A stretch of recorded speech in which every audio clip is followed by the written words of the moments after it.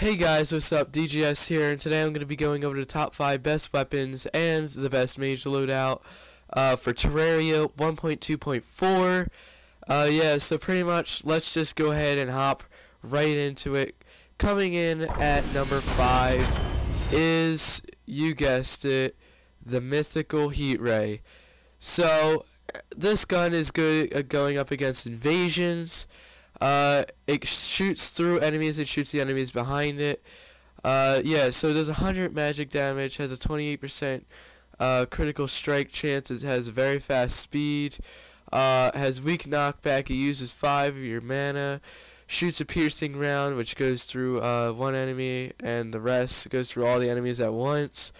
Uh, Allahu Akbar, uh, yeah, does 15% uh, damage, an extra 13 in speed, extra 5 in critical strike chance, 12% in mana, 15% in knockback, and yeah.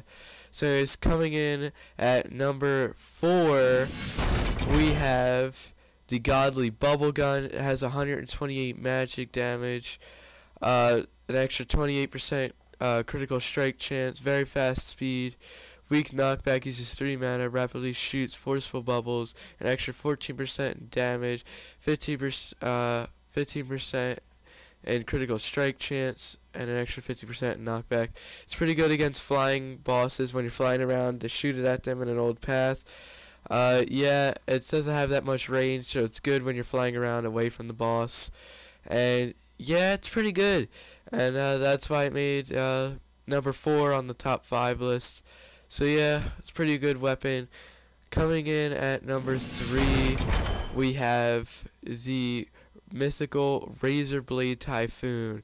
This weapon is really good going up against other enemies.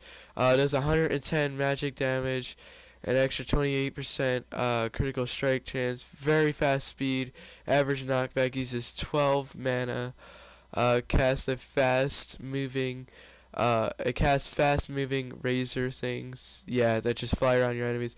An extra 15% in damage, 10% in speed, 5% in critical strike chance. It reduces your mana cost by 11%, and an extra 15% in knockback. It's really good. Uh, they don't do that much damage, but it's really good going up against your enemies. You can shoot a lot of them out, and they follow your enemies.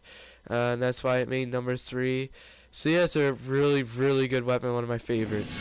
Coming in at number two, we have the Blizzard Staff. This is obtained by killing the Ice Queen during the Frost Moon, I believe it's called. Uh, it does 107 magic damage, 28% uh, critical strike chance, very fast speed, average knockback. Uh, uses 6 uh, mana showers, uh, a an area uh, with icicles, yeah, does an extra 60% in damage, 10% in speed, 50% in critical strike chance, reduces mana by uh, 11%, and an extra 15 in knockback. So anyways, this is really good going up against opponents, making it rain on them in one area. Or uh, especially on a boss that doesn't fly around, you could just, even a boss that flies around is pretty good. Coming in at number one, we have the Razor Pine, well, the mythical Razor Pine does 88 magic damage, 28% critical strike chance, uh, uh, insanely fast speed, weak knockback, uses 3 mana, shoots razor sharp pine needles at your enemies, uh, 50 has an extra 15% in magic damage, uh, an extra 13% in speed, extra uh, 5% critical strike chance, reduces mana cost by 20%, and an extra 15% in knockback. So yeah, that's pretty much all the weapons that I have right now. Uh, so we'll go ahead and go into the armor. The Spectre Hood uh, does 4 defense, increases maximum mana by 80, reduces mana by 17%, 10% increase uh, magic damage and critical strike chance, set bonus of magic damage uh, done to, uh, yeah, it's pretty much to your enemies, and it will give you health. So, yeah, it's pretty much uh, all this all this uh, armor does. Pretty much all does the same thing. You know, just different defense and different uh, percentages. Yes, I use uh, for the equipables and things like that. I use the uh, I use the Menacing Mana Flower, which uh, reduces your mana cost by 8%, automatically uses mana potions when needed, an extra 4% in damage. Uh, yeah, so that's that's pretty good uh, when you do that. Use that. Uh, the Warding Avenger symbol uh, emblem uh, it's equipable uh, on your bottom slot. Uh, does an increase of damage by 12% and an extra 4% damage. Then we have the uh, the menacing sorcerer emblem does an extra 15% in magic damage, an extra 4% in defense.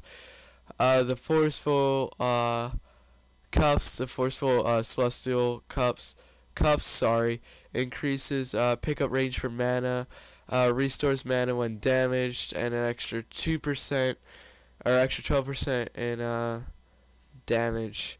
Yeah, so those are pretty much all my uh, other loadouts. The other one that we missed was like, you know, something that wasn't really that important. Uh, yeah, so the other thing was uh, the Red Wings.